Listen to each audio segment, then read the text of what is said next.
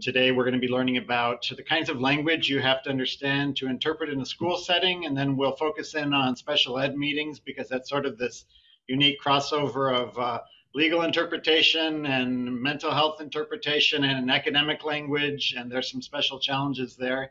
Um, but lots of us uh, work in multiple settings, and so I know that I've had to interpret in school. Sometime at, I used to be a, a teacher, and so I would just be the default guy that they called in to interpret because nobody else spoke Spanish. But then um, sometimes after after I got out of teaching and got into interpreting full time, I went back there. And so this is a, a very pertinent topic um, for our group. Um, Chicago, Mexico, welcome.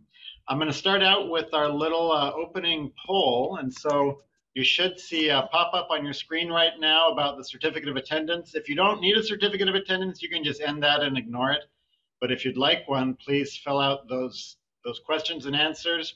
And the I get a spreadsheet from Zoom when we're done, and I just export it over to the PDF maker that fills them out. So if you put your name in all in all caps or all lowercase, that's how it's going to come out on the certificate. And so it'd be better to use initial caps for your first name and initial caps for your last name so that it's formatted nicely when it prints up.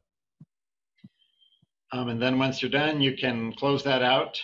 Um, if you didn't see a pop-up, it might mean that you're on an iPad um, or uh, another tablet. I don't think the app running on the tablets will show the pop-up, and in that case, um, I don't know what else to do. Jing Zhang, I can't share it again. It, it, doesn't give me that option as the administrator. So if you don't see it, um, just get in the chat and say, um, this is my name, this is my email address. Please send me a certificate of attendance, and I'll try to pull those out of the chat as well. I, I spend I spend more time working on certificates of attendance than I do on my job. And on, on webinars, it's like 90% certificate attendance and then 10% webinar. That, that, that's the, uh, that's the workload. And so I'm trying to like funnel everything through the system to make sure I don't leave anybody out. And then you don't have to follow up in a couple of weeks and say, where's my certificate?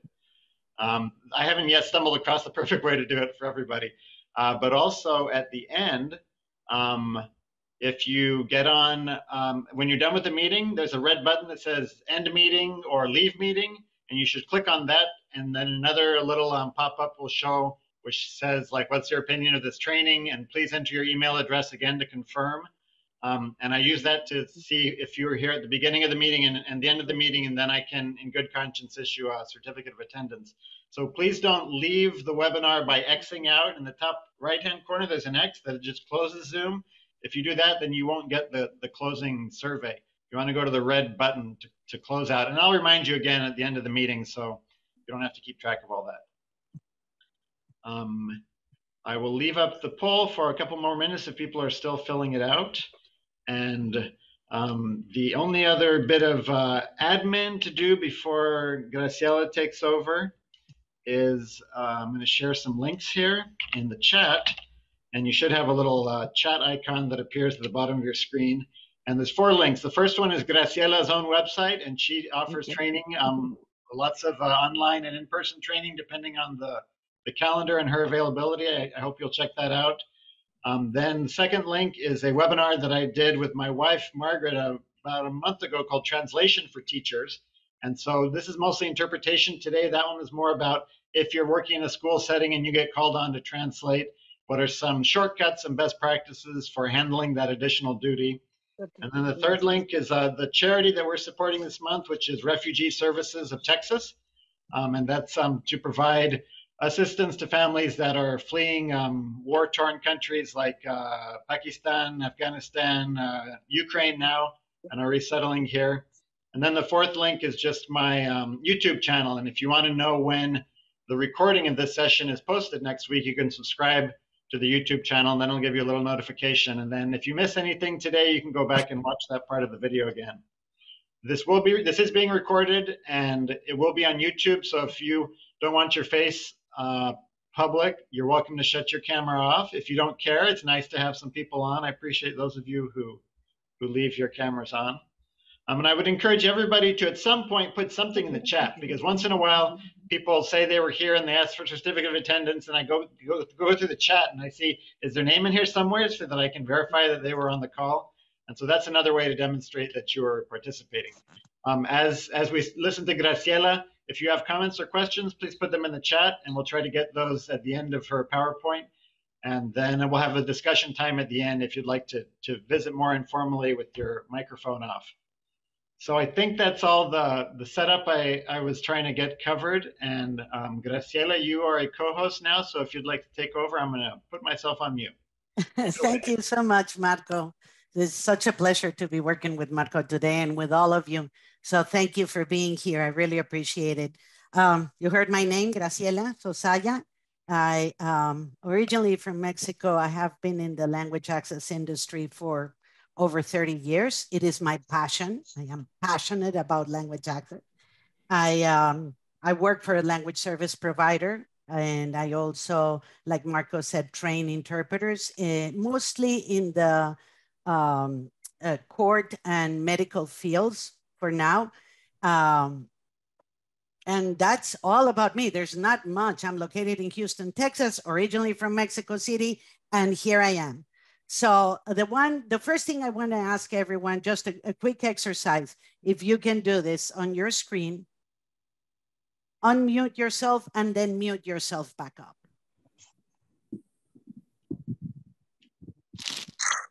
mute. Perfect. And then if you don't mind also locating the chat, um, there's probably going to be a question or a comment that you would like to, uh, uh, to make as we move forward with the PowerPoint.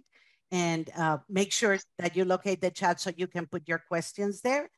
And like um, Marco said at the end, we'll have a, uh, some time to discuss and a, a, friendly discussion and you will be able to ask other questions. But there's so many people. We're so fortunate to have so many of you today that we may not be able. And if we don't get to all the questions, uh, I'll make sure that I answer those questions, send them to Marco, and maybe Marco, you can somehow make them available. There will also be a glossary of terms um, I speak Spanish, so my glossary is English and Spanish. Uh, but even if Spanish is not your language, that may be, you know, an opportunity for you to say, okay, well, let me build this up on my own and add those terms that I'm unfamiliar with. So the, the glossary has the description in English and the translation into Spanish, but if you speak another language, very easy to work um, to work it into your other working language. Um, and that's about it. So I hope uh, this presentation has some basic information for some of you. I, what I heard from some of you is that you have been interpreting in the educational field for a while. So may, you may find it, you know, mostly things that you know, but it may help us a reminder of other things. So you may learn something new. And those of you that are coming fresh, new uh, to this, this field of interpreting, the educational interpreting, uh, you may, you know, you may find this information very useful. So I hope you enjoy it. And uh, without further ado, I'm gonna start sharing my screen. And off we go. All right, let me move. I moved there. I forgot that I have this screen that I have. I'm gonna make your images small, your video small, so I can see my full screen because then uh, depending on when my text, where my text is located on the screen, I may not um, be able to see it. All right, so what are we talking about today? So we're gonna uh, uh, help understand the school and other educational settings, understanding the US educational system, what are the skills and knowledge needed to interpret in those settings and the modes of interpretation used in educational settings. We will also have some practice. So I, uh, I chopped down my, my uh, slides a little bit to allow time for all of us to practice together. All right. So what are the educational, what is an educational setting? Is any setting where people are gonna be uh, uh, uh, gathered for learning opportunities, a learning environment, right? In this country, the, those institutions go from childcare, preschool, elementary school, high school, middle school, right? Uh, and universities. These uh, organizations obviously provide the space and the environment required for learning depending on the student's age group. What is or how is the education system in the United States? It is comprised of public education, private education, homeschooling, and charter schools.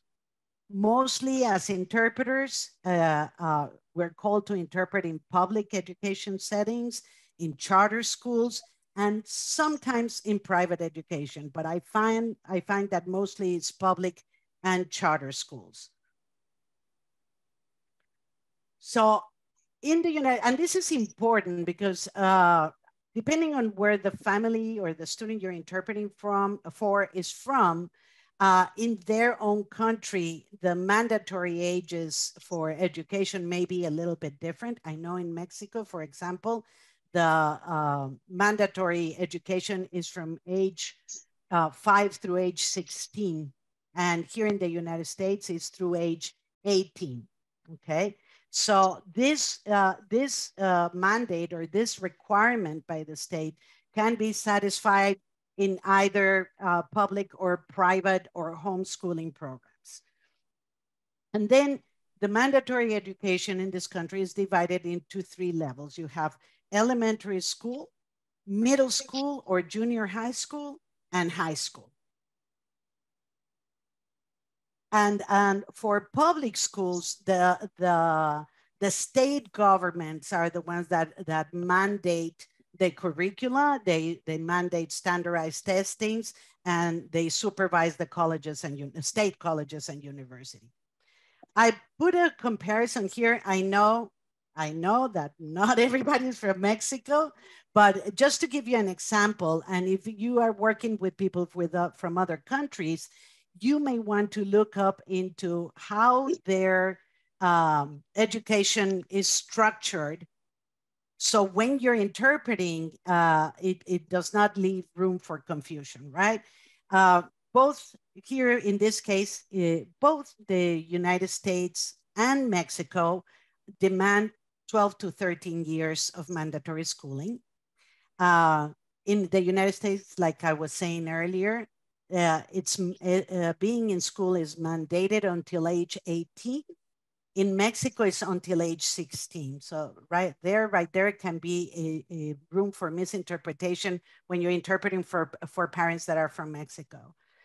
Elementary school in the United States is uh, kindergarten through fifth grade, mostly. Um, in Mexico is first to sixth grade.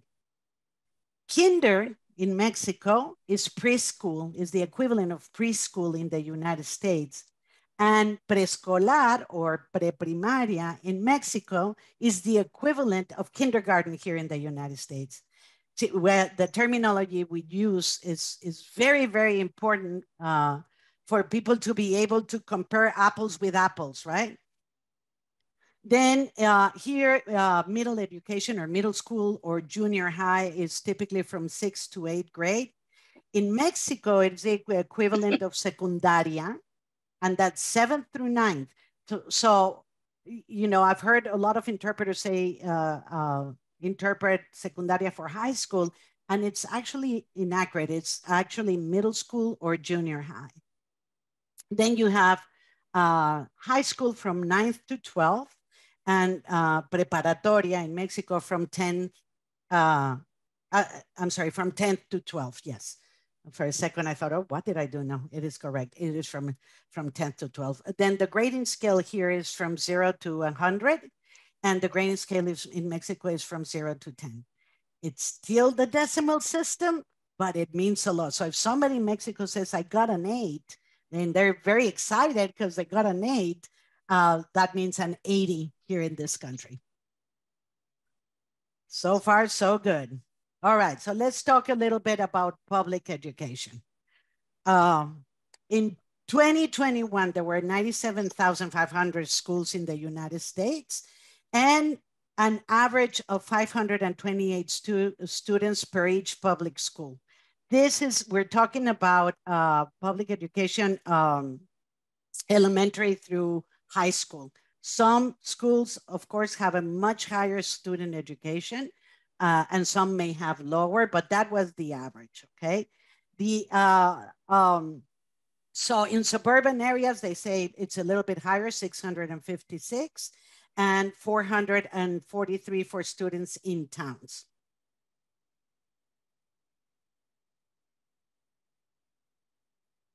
K through 12 schools receive about $640 billion uh, uh, in public schools, which makes you an average of $12,000, 12,600 per student, okay? Additionally to this, they also receive state and local funding about $734 billion. So that is another 14,400 per student what are the expenses? What, what are, what are, how is this distributed? So a total of 57 million comes from federal government, or uh, if we look at it at the student level, so let's say $1,000, $1,131 per student comes from the federal uh, government. $6,785 come from the state, and then 922 come from the level uh, I'm sorry, local government, right? And it all depends on tax collection. So our taxes are at work. We can say that for sure. In Texas, there's a total of 5.8 million students enrolled. Uh, uh, okay, I, I, I, put, I put 5.8 and then the next one I put 5.9. Uh, and then about uh, 300,000 or 350,000 are, are enrolled in private schools. We have about, I would say by now we, we have many more than this, but uh, uh back in 19, we had uh, 8,900 public schools. And then uh, fall enrollment in 2019, this where was the only information I could find, was up 60% compared to 1990. So that makes it 20 years, right? All right. So we're going to change gears because I think most of you are more interested today in speaking about special education. This is what we are mostly called upon to interpret when uh, uh, uh in an educational setting. So we're going to talk about special education or the exceptional student, as we like to call them, and the admission process into uh, uh, a program of special education. So how does this happen? Uh, first, there has to be a, a, classroom teacher referral. Then there has to go a notification. And I'm sorry, I had made this a very, uh, uh, how do you say, interactive page, but it didn't work. Uh, uh, it was it was supposed to appear one by one. So my apologies for that. Uh, then the notification and the request to evaluate goes to the parents. Once the parents uh, uh, approve that, the student will be evaluated by the school psychologist or will be referred for outside evaluation. Once this is done, there will be a conference with the parents to discuss the test result and determine whether the child is eligible to receive uh, special ed services at the school. Then will be an initial placement meeting and the uh, development of the individual uh, educational uh, plan. I'm sorry. Uh, the parents need to give their approval and there will be uh, reevaluation meetings every three years or sooner if there are new developments or new results. So that is the general process on how uh, a child enters into the special education unless that child already comes from another school district or another organization already and has already been in special ed and then gets uh, admitted uh, or transferred, I would say, into the special ed program of that particular school. So where are we called to interpret when we come uh, in the educational system? We have uh, our, our ARD meetings or ARD meetings, admission review and dismissal. That's how they're called in Texas. In other states, they're also called IEP meetings, which is the individualized educational plan, which is part of the ARD meeting. Uh, there will be disciplinary meetings, classroom instruction, and parent-teacher conferences. Basically, I know there's many other instances, but these, these are uh, the, the four main, at least from the company that I work for, that's where we see that interpreters are, are called for to interpret mostly in educational settings. Marco, you let me know if at some point people are falling asleep, please. No, I fall asleep with my own voice. you got it. Awesome, thank you. So let's talk about those admission uh, uh, uh, review and dismissal meetings. Who participates in these meetings are the parents, always the general education teacher, and uh, any special education teachers that may be involved in that child's CIP, and then a district representative or representatives, and of course, the interpreter in our case, right? The purpose of this meeting is to determine if the child is going to be eligible to receive special services, whether it's, special ed, special accommodations, um, um, OT services, or speech therapy. And it can also uh, offer referrals to other physicians if they feel it's necessary. During, based on the, on the, on the information discussed in that ARD meeting, then uh, a, an IEP plan is developed and uh, for that specific child if it's needed. What are some reasons for an ARD meeting? It may be the beginning of a school year. Every child that has been in special education will have uh, the, the, the beginning of the year will have an ARD meeting, okay? If a child is new, is a new student to the, that particular school, there would be an ARD meeting if there is a mid-year review of current services. So throughout the year, you have a beginning of the year kind of review, a mid-year review of the current services, and then the annual review at the end of the school year to see if they if they're going to propose and recommend the same services for a child for the following school year, things that worked and didn't work. Um, there's also an ARD is called upon if there's a new diagnosis or if there is a request for a modification into their IEP, uh, or if the child has not been able to reach the goals that were set in the previous ARD meeting. So for any of those reasons, an ARD meeting can be, uh, can be call, called upon.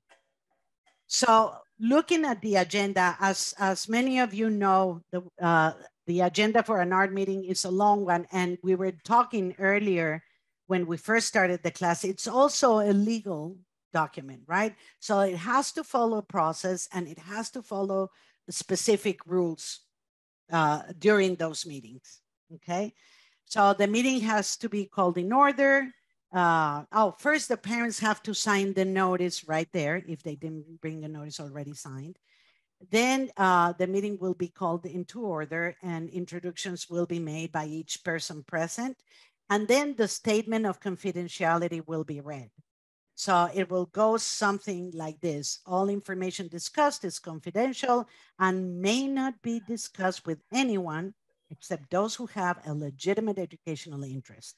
As we proceed with the meeting, the first consideration of the committee should be the least restrictive environment in which the student can be successful. Why am I reading this? You can read it on your screen, right?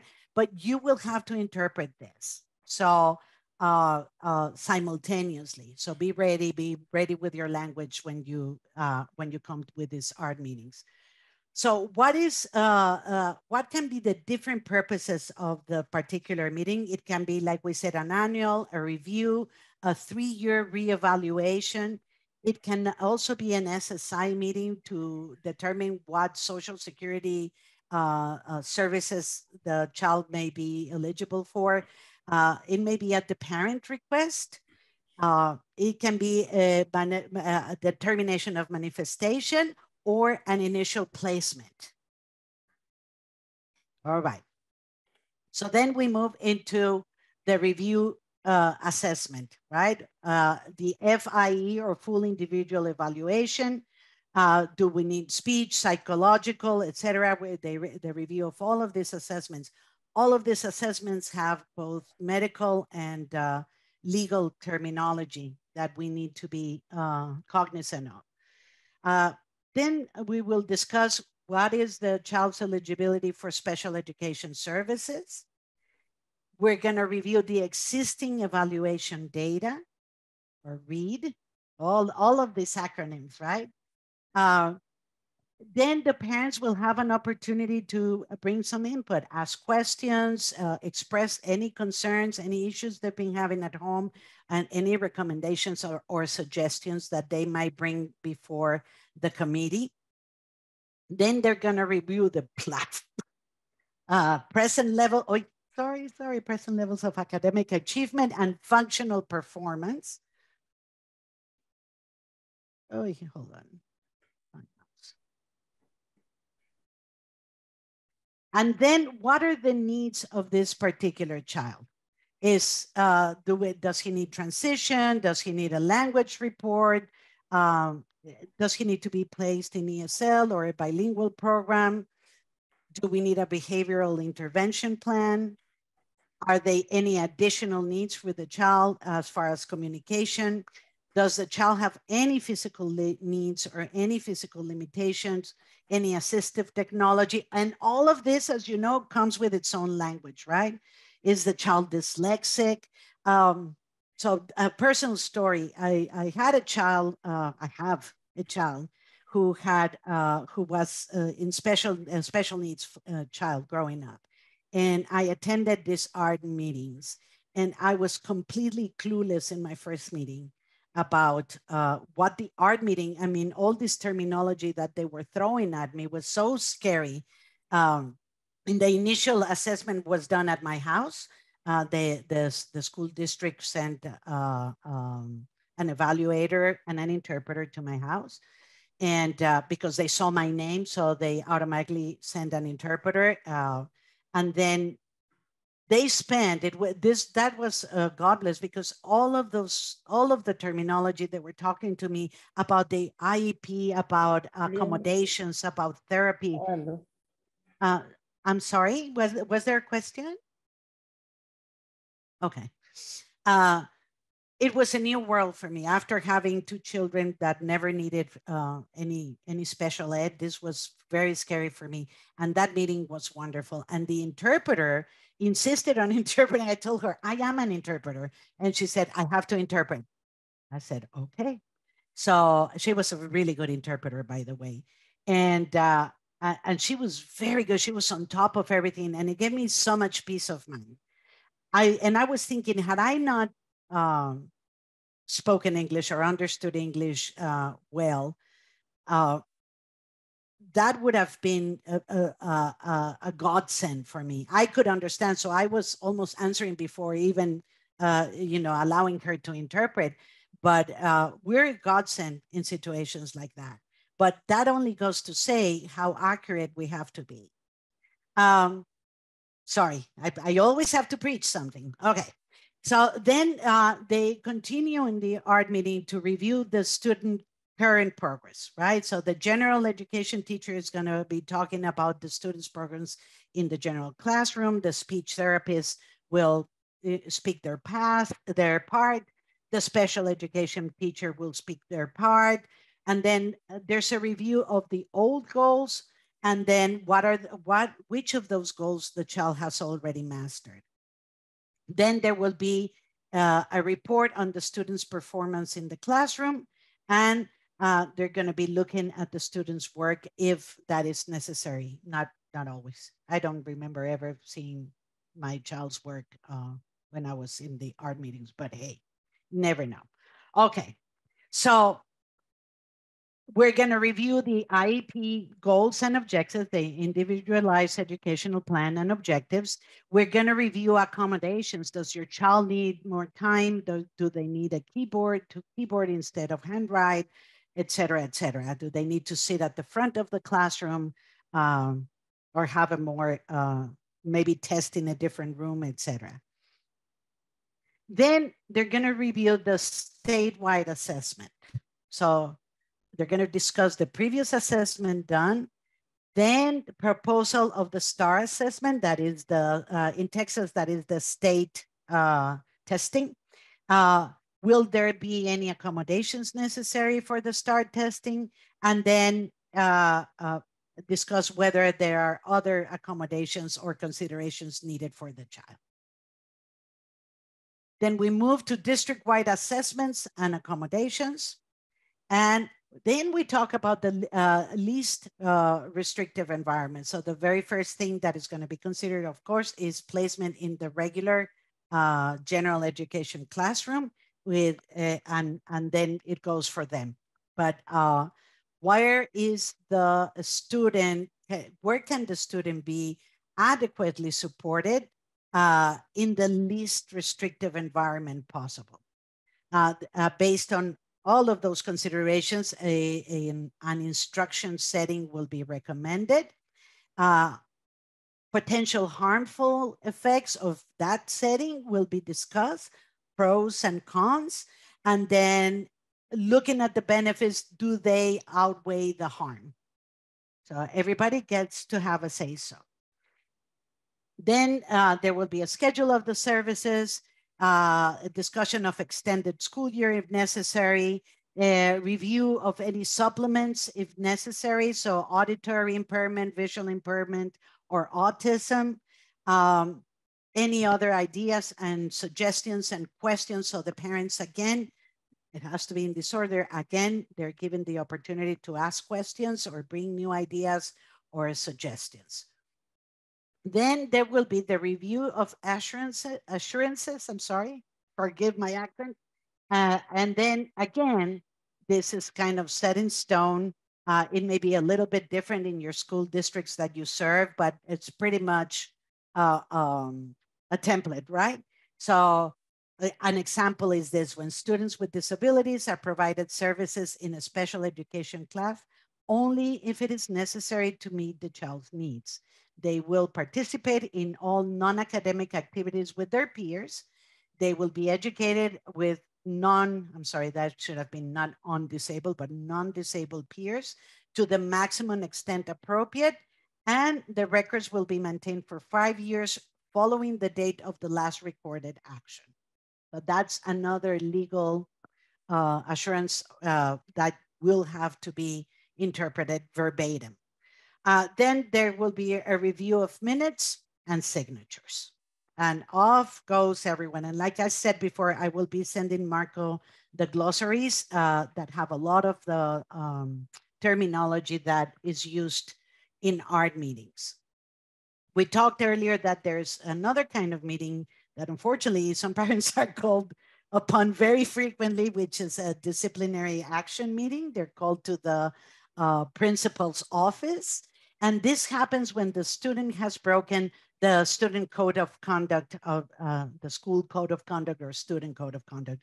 You know, those papers that if you have your children in, in public education you have to sign and your child has to sign at the beginning of every year, you know, tons of paperwork and the, the book that is this thick uh, as far as the behavior and the conduct that is expected from them at school. Uh, so what are the potential disciplinary action? This is a conversation with the principal and sometimes the, the teacher, the student, and the parent.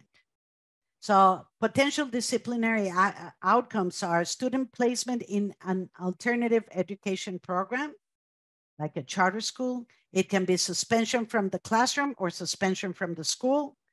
It can be expulsion from the classroom or expulsion from the school and other limitations in enrollment eligibility.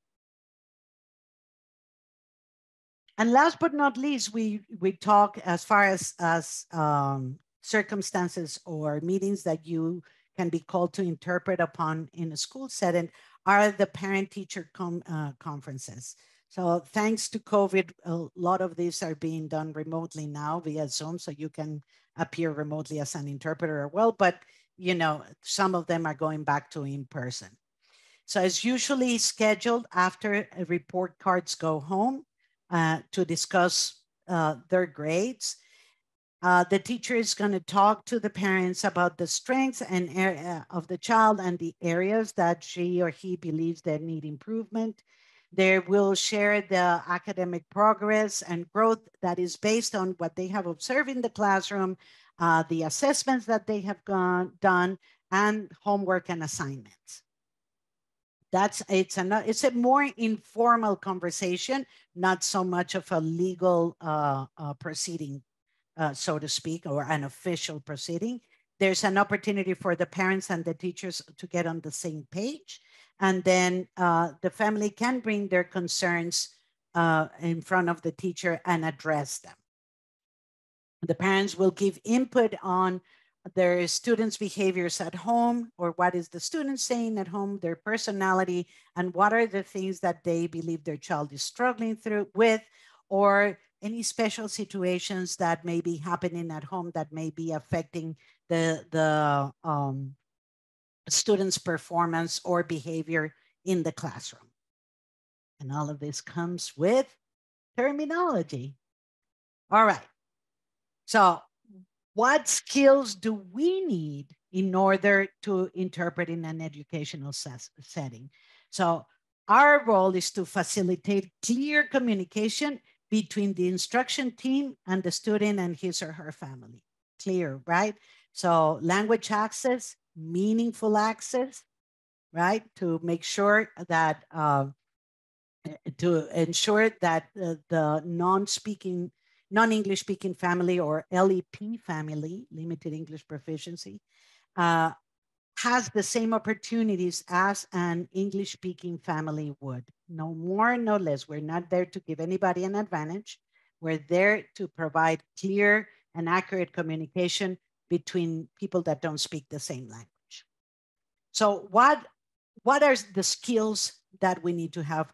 uh, we need to be impartial and that's a skill because we all have opinions we all have a life we have our own opinions of what's right and what's wrong and uh, and that's perfectly fine but they cannot come into play when we're interpreting uh, we also need to be accurate and complete right not skipping and i know i'm preaching to the choir because i know there's a lot of very seasoned interpreters in this room today but it's it's always good to remember right say what was said. If I heard it, I'll say it. If I didn't hear it, I will not say it. But I will repeat everything that I heard, right? Uh, confidentiality, of course. Cultural competence. So we need to become familiar with the student population that we serve. Where are these parents come from? That's not only good enough for me to speak Spanish, but it's good enough to be familiar to with the with the different cultures that speak Spanish in Latin America, for example, right? We all speak the same language, but we use it differently. And what may be something funny in Colombia, for example, may be an insult in Mexico, maybe a little bit offensive in Mexico and vice versa, and many other countries. So we have to become familiar as much as we can with the cultures that we serve and also the language that is used by that population. Uh, another skill is being respectful. Voila, right? So it's a good reminder. So respect for educators, students, and parents, right? I'm okay, you're okay. Professionalism, of course, and that goes in the way we treat everybody else, in the way we dress, in the way we respect, we present ourselves. And absolutely imperative is knowledge of the specialized terminology that is used in education. If you are interpreting in the classroom, then your, your skill level, you know, just fast forward, it just increases exponentially, right? I have so much admiration for interpreters that interpret, for example, in a, in a college or university setting, and they have to interpret those classes so you pretty much become an expert on everything that you interpret. So you're going to use consecutive interpreting, you're going to use uh, simultaneous, and we're going to use sight translation. What are some of the documents that we may be asked to sight translate right there on the spot? Uh, the child behavior rating scale, parent notifications, determination of competencies, language proficiency assessment report, program modifications and support, determination of participation in state and district-wide assessments, consideration for least restrictive environment, and individual educational plan. And many more. Oh, sorry. So during an ARD meeting, anything that the parents sign or fill out will need to be sight translated for them. Um, simultaneous interpreting, when do we use this? Uh, during ARD meetings, when, when, somebody is presenting a report, uh, etc. when anybody's speaking during ARD meetings, uh, but in both directions. And then it's also needed for classroom instruction. Obviously imagine if the if the professor is or the teacher is going to say one word and then uh, wait for the interpreter. Those becomes very long classes. And then consecutive interpreting really in any setting you're using in ARD meetings when there's question and answer conversational type. We use it in parent teaching conferences all the time and then also in disciplinary action meetings all right so this is where I stop with my presentation so we can do some practice. Let me see. Yeah, this is perfect timing. Um, let me stop the share. Are we still awake? Yes, good, excellent. Thank you. Thank you for not falling asleep. I'm very sensitive about people falling asleep when I speak. So Marco, we had discussed, uh, originally we had discussed, you know, putting people in small groups and giving you a script so you could practice, but we have such a large group, wonderful group of attendees that what we think is better is I'm going to be reading the script and uh, if you can just make sure that, of course, your microphone is muted, everybody at home is going to be interpreting into your other language. So I will be reading in English. You will be interpreting at home into your other language. Is everybody good with this? Yes? Awesome. Okay. So get ready. Because here I come.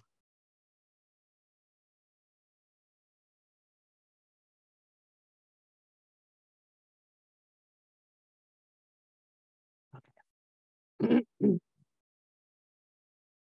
Good afternoon, Mr. Smith.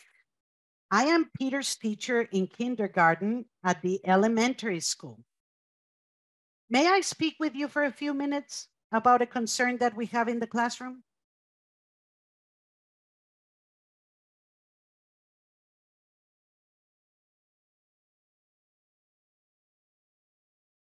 Peter is a very sweet boy he never bothers the other students and he enjoys stacking blocks.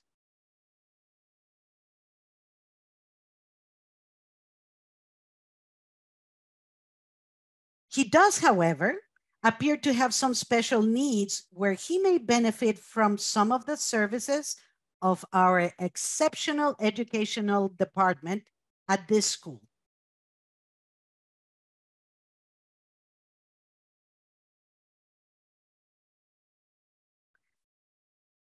The social worker filled a develop, developmental sorry, assessment um, last week, and it seems that you also have some areas of concern at home with Peter.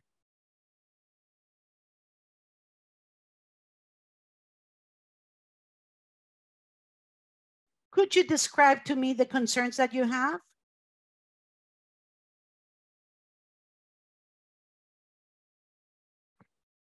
Our special education committee at school recommended that Hugo, no, Hugo, Peter, sorry, undergo so, uh, some evaluations administered by a school psychologist and a nurse.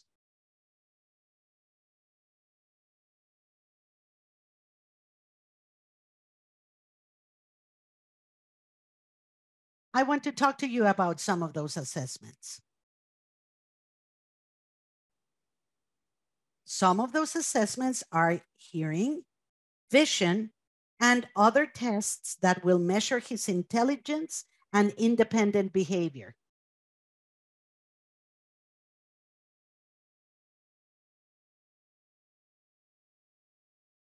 We would like to ask your permission to have him evaluated.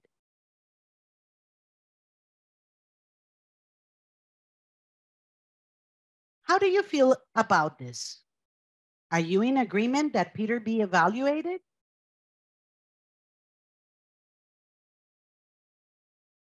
We will contact you as soon as we have the results of the evaluations so that we may meet and discuss the results.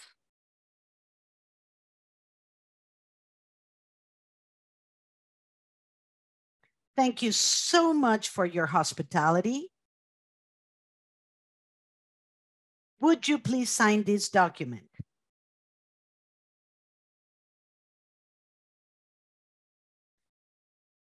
All right. Thumbs up if you did great. Thumbs sideways if you did so-so. Thumbs down if you if if it was difficult. Hey, yeah. Sideways, up. Yeah, good. I have another one. Give me just a second. I have a list and this would be very helpful. Give me just a second. Marco, you have anything to say while I find my page?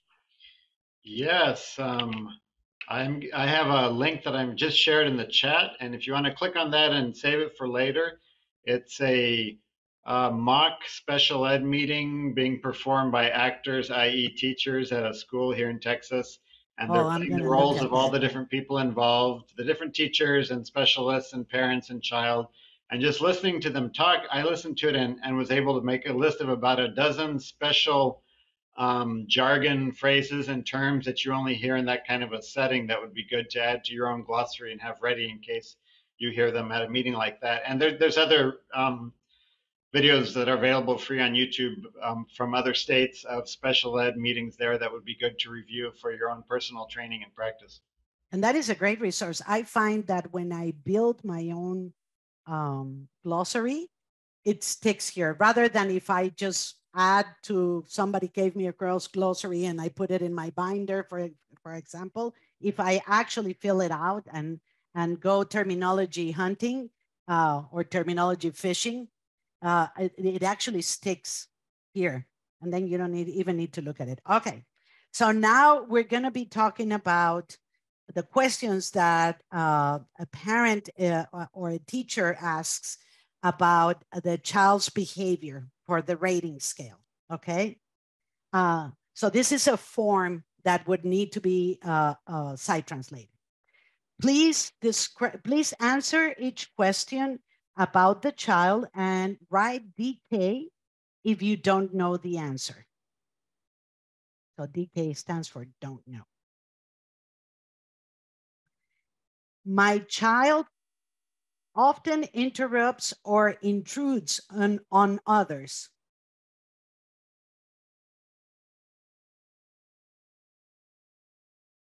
My child often argues with adults.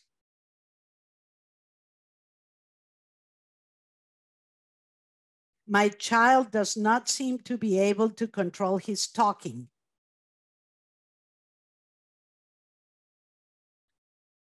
My child is often easily distracted.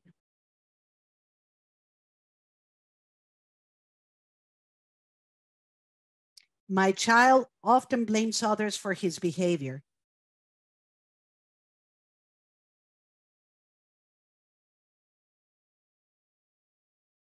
My child often does not seem to listen when spoken to directly.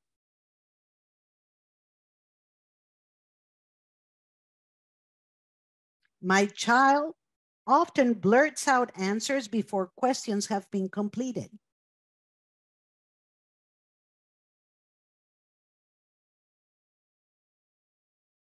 My child often has difficulty playing quietly.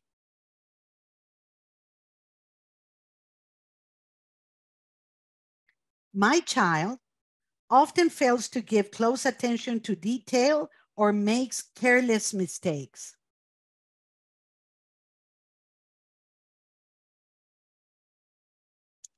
I feel my child is often angry and resentful.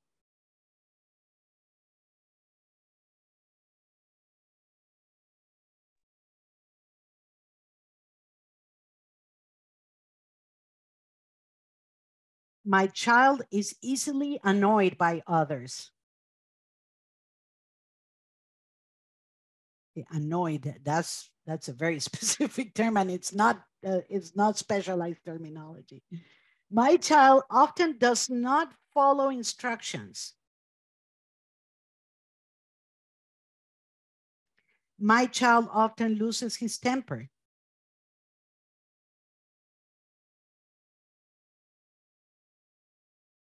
My child has difficulty paying attention to tasks or play activities.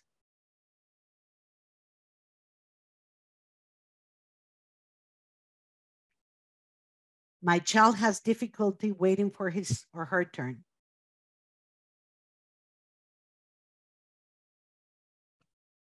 My child is often on the go or often asks us if he or she is driven by a motor.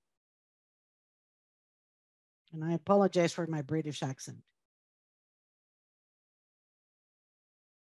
My child is constantly losing things schoolwork, toys, pencils, books.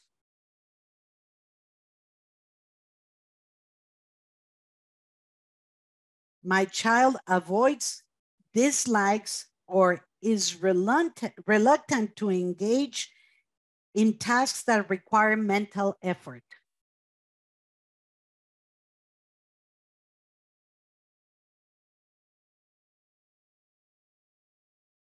It looks like they're describing me. My child is often forgetful in daily activities.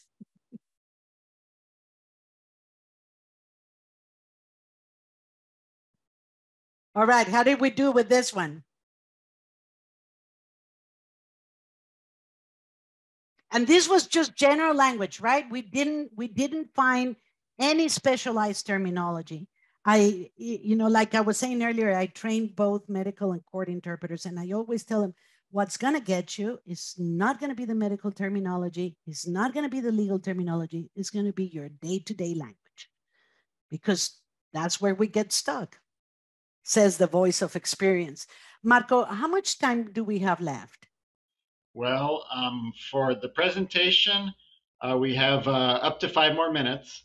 Um, okay. But, but, this would be a good time to throw it open to discussion too, if uh, if you're if you're ready for that. I'm ready. Yeah, okay. I'm totally ready. Um, then I'd like to uh, give you a round of applause, Graciela. Oh, thank you. Very good training. Thank um, you so, for having me here. So please don't go anywhere, anybody. Uh, we're not quite done yet, but when you do leave, um, it's important to click on the little red end button in the lower right hand corner because then the, the final survey will pop up and that's where you can confirm if you need a certificate of attendance, that's where you put your email address. Don't use the X in the top right corner because then you won't ever see the survey and it'll be harder to track down who was here. So the red button in the lower right. Um, but I am going to put these uh, links into the chat one more time. Some of you came in after these were added. Um, and these are links to Graciela's website where she has other training resources, our webinar last month on translation in the school setting, our fundraiser for Refugee Services of Texas, and our YouTube channel where this video will be posted starting next week. But I would like to um, throw the floor open to questions. And I know a couple people put questions in the chat. If you'd like to unmute yourself and ask those now, let's just try to, you know, take turns. And if you hear somebody else talking, then hold on a second. Frank, do you want to go first? I, yeah, I didn't hear uh, 504. Uh, I, I have a child that was uh, enrolled in the 504 plan. Is, is that something inside the, the subject of uh, special ed? It is part of the project of, uh, of the subject of special education. I didn't go much into the detail detail uh, uh, of special ed or other programs in the school. Uh, I, uh, but that is something that we definitely can expand upon, uh, Frank. Okay, thank you. Yeah. I think 504 is, is unique to Texas because that refers to a certain line in the statutes. It'll probably be different for other states. I, I think it's federal language. 504 is federal? I think 504 is federal. Yes, at least uh, okay. uh, that's my understanding in Massachusetts. Okay. Great. Yeah, my apologies for that, Frank, but I, I I'll be happy to look more into it and give you information. It's all right. Okay, Jesse John Jesse Thompson. Um, yes, the, you mentioned that there needs to be respect for the parents, the teachers and the students. What about respect for the interpreter? Well, yeah, of course, but you know, And, and uh, how, what are, can you give a- an example of how interpreters can stand up for themselves when, say, for example, people are not following good um, speaking protocol and kind of leaving them in the dust? Okay, so the only thing that we have control of, right, is is the flow of communication. We don't have control of what is being discussed, what people are talking about, how they're talking about it, but we have uh, control over the flow of communication. So we can always raise your hand and say, interpreter requests that you slow down so I can catch up and interpret. Interpreter requests that you pause more often.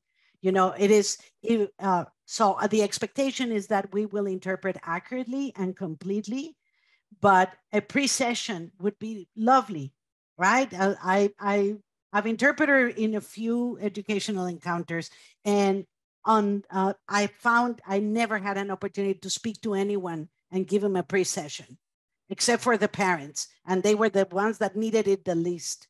You know, everybody else needed it because everybody was talking on top of each other, talking super fast. Uh, so if you are able, and many times if you go to a specific school frequently, you can create that relationship. And even if you don't, right? To talk to them and have a pre-session and say, okay, let's talk about how to work with an interpreter. And don't use the word how to use an interpreter because I don't like being used. I don't know about you, but I don't like being used. So let me tell you to, to have a successful encounter, what I need from you, if you please. And then just say, you know, speak in, uh, give me full ideas in short sentences, uh, you know, address people as you normally would, you know, the regular, our regular spiel on a pre-session, but you can set the rules ahead of time. And so people have it in mind. And then when they see you raising your hand, because you already said, if I raise my hand, it means I need you to stop talking. Then they're like, oh, okay, okay. Now I remember, you know, Jesse said to to go slower or I, I find that pre-sessions are like a must in in any area of interpreting that that we that we practice. That's great. Thank you. Thank you. What other questions or threads or comments? Now, one one more question. Have you done this work uh, on Zoom? Yes, Okay. yes. Uh, you. Uh, so it it works exactly right. The the client uh, or the school, depending on what it is. If it is consecutive interpreting, like for a parent teacher uh, meeting, it's easy. We do it like this, right? This setting that we have right now. Only, of course, there will only be three or four people on the screen, and you can take turns very nicely. If it is an event that requires uh, for simultaneous interpreting, then there is a, uh, a, a license of Zoom that allows for the interpreters, allows interpretation for simultaneous interpretation, and uh, and they will, you know, you have a room to interpret. It really it works really cool. I've been doing quite a bit of those. Um, did that answer your question, Frank? Or did you have a specific question about about Zoom? No, no. Uh, that's good information about the licensing because I, I was looking for that uh, feature. I, I never seen it. It's a so normally the client will have it, the school will have it, right? And it's a very expensive license, very expensive license that, and they can activate it like for a couple of, of events and then deactivate it, and then they just pay that. I don't know how that works, but basically what it is is you. Sorry, my song, my my dog is singing. You arrive to the forum like this, right? And then they have by your email address, you will be recognized as the interpreter. And they, they will create a room saying, for example, in, in, in our case, Spanish, right? And then they will announce and you will interpret, uh, you know, if anyone speaks Spanish, please click on Spanish at the bottom of your screen. And then you as the interpreter will go into that room as well, just like if it was a breakout room. The difference here is the attendees that are in that room can only hear you. but you can hear the main speaker in English speaking at the same time. Interesting. And then if there are questions and answers, uh, you can get out of the room and come back, you know, for the Q&A. But it's really cool, very cool. But it's for large groups. Like let's say if we needed interpretation for, for today, this uh, is for large groups. Okay. Thank Okay, you. let's Graciela. hear from Martha Rosenbaum and then Susanna Hendrickson. Schools receive a lot of funding, but they have from the government, the state and local, but they have the tendency to use teachers as translators. How, That's, yeah. how, how can we really change that a little bit? so it takes a lot of education, right? Uh, I Uh-huh. think interpret as interpreters, we're constantly educating providers in all areas. And same happens uh, in healthcare, same happens in many other areas of interpreting. So it's the education. There is actually laws, right, that demand that uh, language, uh, uh, meaningful language access is provided. There's uh, Executive Order 13166. So Executive Order 13166 was signed by President Clinton and it expanded on the Civil Rights Act, uh, uh, um, Title VI of the Civil Rights Act. So it was no longer just okay to not discriminate. Now, if you receive federal funds, which public schools do, uh, you are obligated to provide meaningful language access to, uh, to your programs and services for limited English proficient uh, people. That's where the term LEP came from, from Executive Order 13166. And what meaningful access means is that if I don't speak English and my child is in the school, I should have the same opportunities as an English speaker does. That's why you heard me say at the beginning, we're not giving advantages. We're not, we're all we're doing is opportunities. And I say that because that goes hand in hand with accuracy and completeness and sticking to what is being said and not adding from our own um, wonderful experience in this world, right? So, uh, so there are laws that actually demand that if, if any organization that receives federal funds, whether it's one dollar or one billion dollars a year, uh, must provide uh, a meaningful language access. So you can start those conversations. Thank you. Uh, Thank you. I think the A- ADA is, everybody knows about the ADA and American Sign Language. People are very much aware that they need to call interpreters for American Sign Language, but they seem sometimes to think that spoken languages don't deserve that much attention. It's just a matter of education. It's because we have Google Translate now. We don't need people to do that. Exactly. Uh, Okay, Susanna, you're up. Yes, hi. Uh, Thank you, Hi. Graciela. It's a wonderful presentation. I, I was just um, uh, interested, I was curious actually about something. Um, I, I finished interpreting, uh, I kind of retired from the courts and I've been doing school interpreting, which is what I used to do uh, earlier before I became staff at the courts. But um, what I've noticed is, at least here in New York, um, the before pre-COVID, um, the school meetings, we, we call them CSEs, Committees on Special Education um, or committees on special educa- preschool special education, but they used to be in person. And um, it, it really, at least, well, it, it was just so much better in many ways, you know, that I don't need to go over.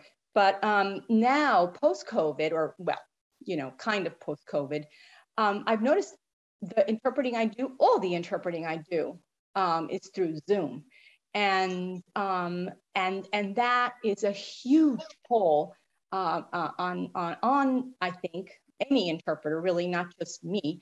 I Mm. fortunately um, uh, I've been always practicing consecutive um, because consecutive is tough. At least I I it is. It is. You have to have I good see- memory skills. Yes, and good note taking too. So, uh, you know, these these meetings now are lasting an hour and a half, and sometimes I have two in a row, maybe a half hour, you know, in between, and I, I just leave these these these uh, assignments shaking because uh, the, the work has been so intense. And I'm just wondering if, um, if they've become uh, a, a, Zoom environment for other states. I don't know what, it, I'm yeah. curious to see what other interpreters have to say about that.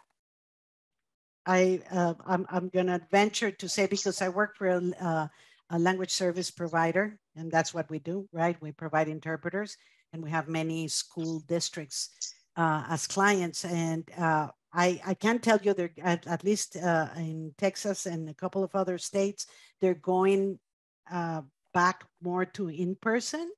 But since uh, 20, what was it, 2020? Gosh, was it that long? I can't believe it. Uh, you know, Zoom is it, right? So there's a lot being done online, but I, we see a trend. So Zoom is not going to go anywhere.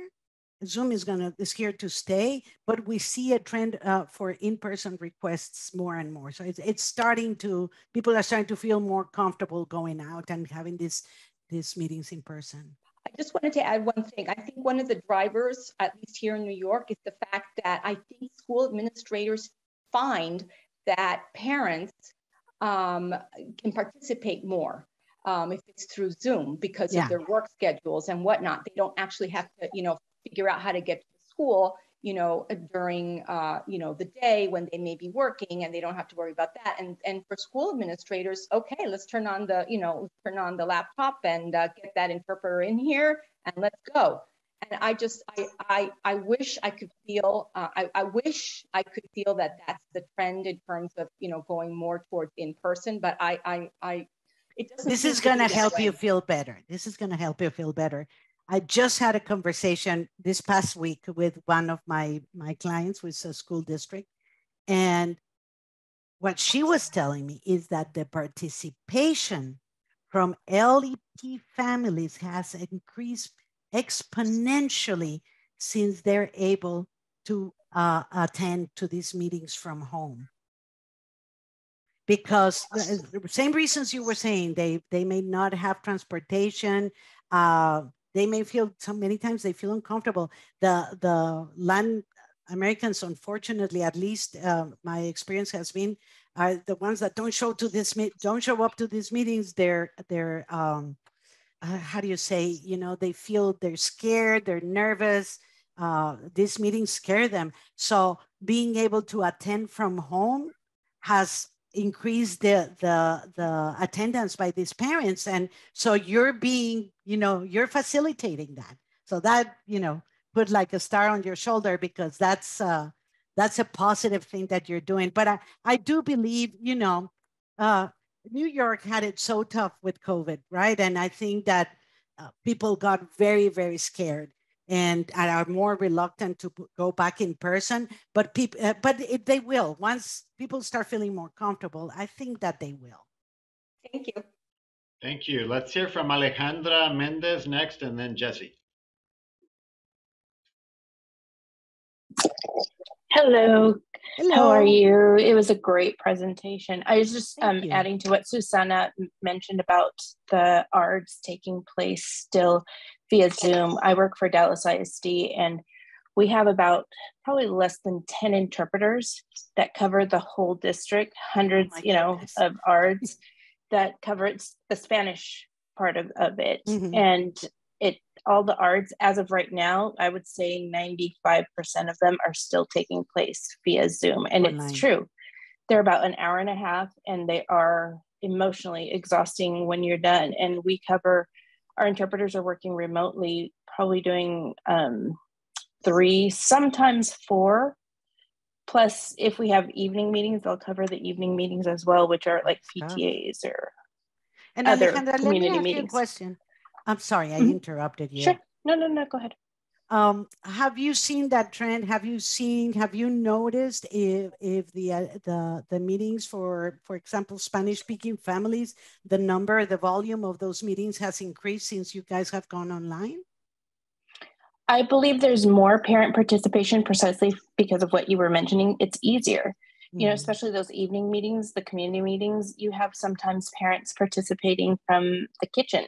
They're yeah. preparing dinner you know they're able to participate from their car so yes there is more participation how sometimes for um, I would say I talked to a teacher just this week that asked to have the interpreter in person for those initial ARDs that take a little bit longer explaining to the parent.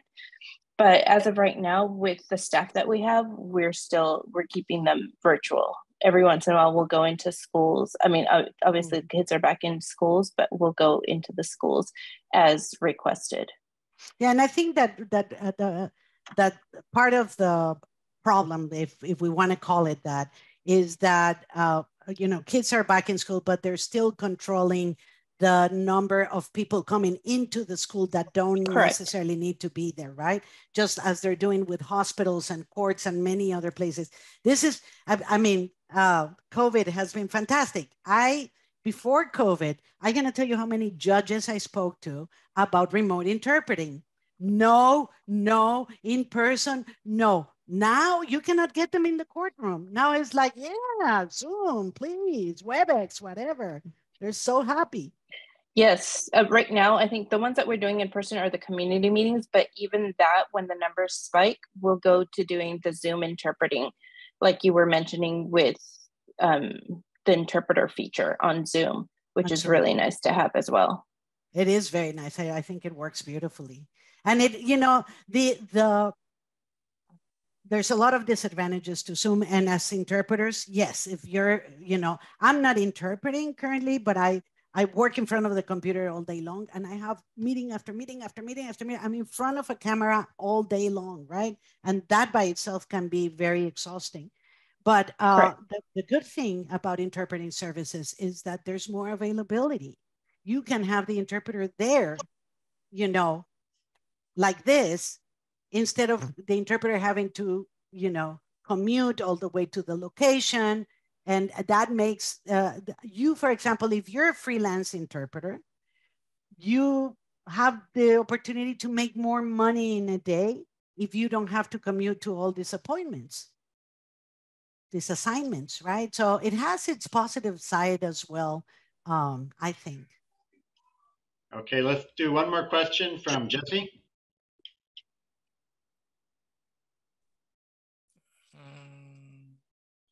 Yes, um, I related to Marta's question um, about um, teachers interpreting. Um, yes. Can there be any legal liability or, or consequences for that? Well, are, are, there any organizations trying to formulate a set of um, qualifications like court interpreters have? Uh, there are or educational I, interpreters. Yeah, I don't think there is a push on the government side of things. Uh, there is a huge push on on the interpreter associations, like uh, national associations, to push for certification for educational interpreters uh, because it is needed now. Um, is there uh, what can happen? So if the school gets surveyed by the state, that suddenly the state says, you know what? Where's your language access plan? Because the federal government is getting tough on us, and the federal government is getting more strict in general about language access plans. Uh, starting last year and this year, because I've been, I, I, deal with a lot of government companies. So I hear from my clients, right? You know, can you help us create a language access plan? And so, uh, so if if the the district will say, okay, I'm going to this elementary school, for example, uh, where's, where's the language access plan? And if you don't have it, let's say uh, the district can say, we, we have to withdraw funds because those federal funds, part of what those federal funds are covering is language access. And I saw a question, I think, uh, Diana, you said, where would we find these laws? Just Google executive, I'm going to type it in the chat room, executive order 13166, and you will find it. Um, I know where it can be found is the CLAS standards for healthcare organizations. So Minority Health, the Office of Minority Health uh, has created a whole plan based on Executive Order 13166 that applies to any type of organization, but um, are there? And I've I've heard of that executive order, but um, my question relates more to um, what sort of teeth there are in that regulation. Like what enforcement is Okay. either under construction or exists. I think it exists now. I'm not sure how the chain of command uh, trickles down to the to the individual school, right? Uh, but the federal government has the right to withdraw fund funds for education for a specific uh, or the uh, I, I I think it would be the state education department would be number one, and then the federal government would be number two they can withdraw funds. For, for instance, I can tell you in healthcare, uh, Medicaid and Medicare can withdraw funding from a hospital if they don't have interpreters. If, if they if they are um, uh, if they are working, you know, uh, staff using staff members to interpret, uh, staff members that have not been previously tested and qualified as as interpreters. So there are uh, very strict laws. I just don't know, not understand very well how it trickles out on the education side. Marco, are you familiar with that? Um, not, not very familiar, but I, there is a federal, um, webpage that I just put a link to in the chat where you can file, anybody can file. a oh, LEP, yeah. Against a school district that is not, um, providing, uh, adequate interpretation. interpretation. And I would, I would caution you not to rush into that. It's better to first talk to them and, um, help them become aware of their responsibilities. And, and then if you get pushback and, and they're not interested in meeting the needs of the immigrant communities they serve, then eventually that's like your, your last option before actually, um, suing them yourself. It is, it has pretty much become a civil right. So it's as serious as a, a violation to civil rights.